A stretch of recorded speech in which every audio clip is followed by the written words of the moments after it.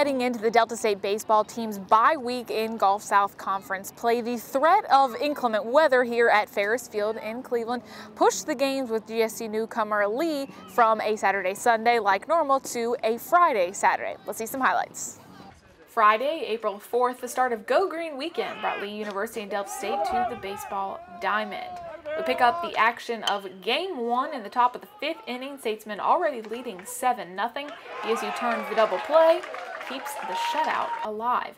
Top of the sixth now, Drew Milligan on the mound for the Statesmen. He gets the batter swinging. Yes, that was a swing. Lee goes three up, three down. Top of the seventh, more Delta defense. First baseman Ricky Velez snags a line drive out of the air, completes a double play by stepping on first base. Lee still hasn't scored here in game one. Bottom of the seventh, Delta State up to bat. Velez in the box, and he gets a hit to third, beats the throw to first. The next two batters get walked, so Will Robertson gets bases loaded. That is a sacrifice fly to center. Velez has enough time to tag up and head home, and that makes it 8-0 Delta State. The Statesmen go on to complete the shutout, winning game one 9-0 over Lee. Milligan pitched a complete game with six strikeouts, just two walks after facing 31 batters. Head coach Mike Kinnison says when it comes to pitching roles on his team, each guy does his job and gives 100%. Well, I think our top two starters are solidified in Manley and Moody. You know, we felt really good with where we were with Ricky Winters, and we'll see how that goes right now. He's kind of uh, getting his arm evaluated a little bit bullpen roles. Um, I think they know what we want them to do, and maybe we're making a little progress in that regard. I thought there were some good bullpen performances this weekend.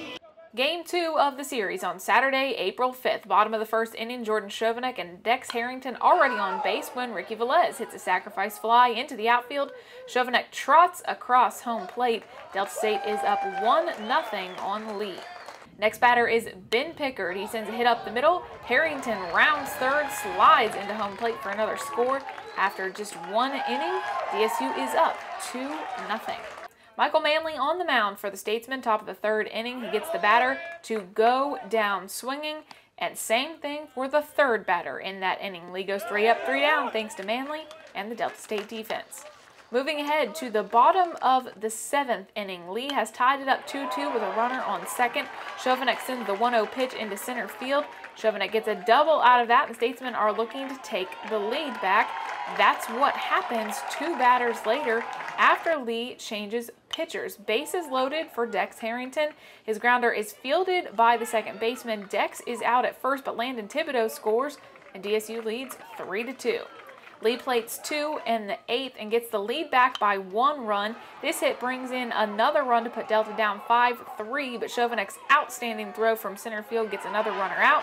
Statesmen defense heads back to the dugout. Unfortunately, the Delta State Bats can't bring in runs in the eighth or ninth. The Statesmen fall to lead 5-3 in game two.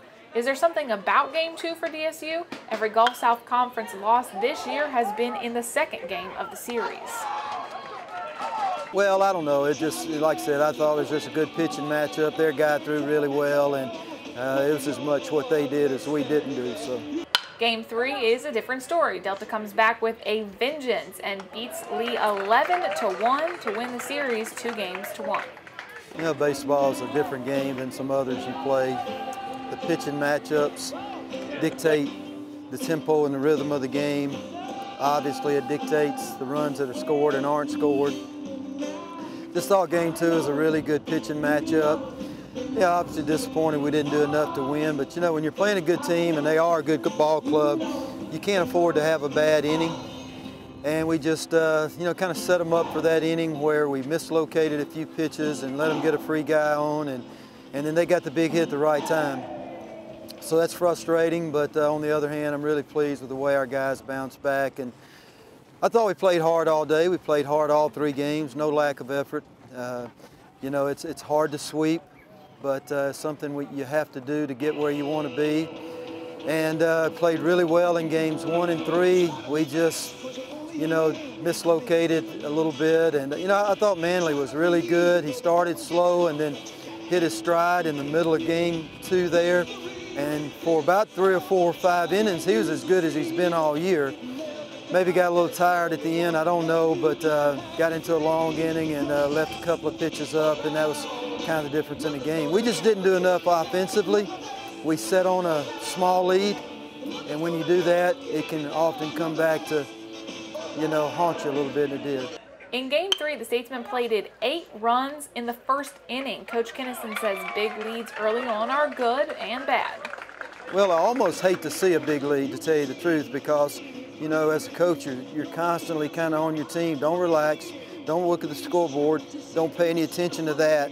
Just focus on the next pitch. Focus on the next, next, you know, uh, at bat or whatever. And uh, sometimes you know the mentality can drift. The big leads are nice, but you want your team to keep grinding and keep working. And I thought we did that. We continued to add runs. That's the challenge. It's not to sit on the lead and continue to add runs throughout the game. In the past couple of weeks, Delta State has squeezed in some midweek games against non-conference but regional opponents. In those games, Coach Kinnison switched up the batting order, putting leadoff man Jordan Chovanec deeper into the order. Kinnison says taking some pressure off helped Chovanec come back strong in the Lee Series. The senior earned Gulf South Conference Player of the Week honors after going 15 for 20 at the plate with 4 RBI and 7 runs scored on the week. I think it's just a confidence thing. I really felt like he uh, kind of just worked through that and worked his way out of it. It's something any hitter and any ball player can go through.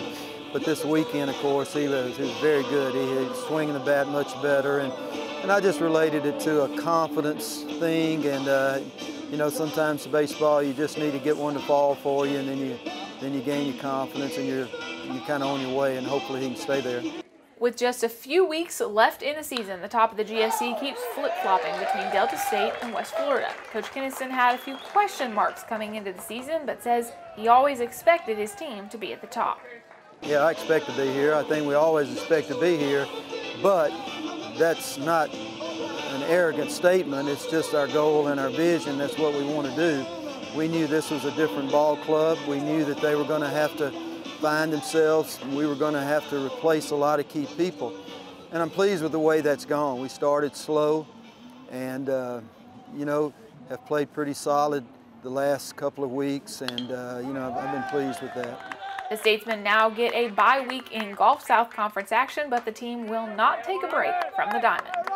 Yeah, we're on the road for two midweek games, and then we play, you know, and, and it's it's a lot to do with the regional picture. You know, we could take a weekend off, but it wouldn't help us any with our uh, quest to get a regional ranking. And, and so you just have to play good people, and and uh, I don't think you can ever be afraid of competition or back up from a good fight, so to speak. And uh, I don't think our guys want that. We've always had that trademark here of playing the toughest schedule we can find.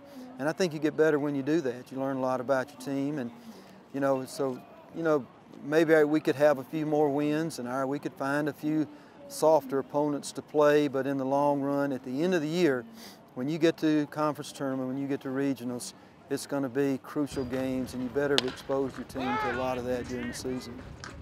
So a break in Gulf South Conference play for Statesmen baseball, but not a break at all. The Statesmen will travel to Georgia to play Young Harris in midweek action and then go to Southern Arkansas for another battle of nationally ranked teams, and it's going to be tough. For GoStatesmen.com, I'm Katie Smith.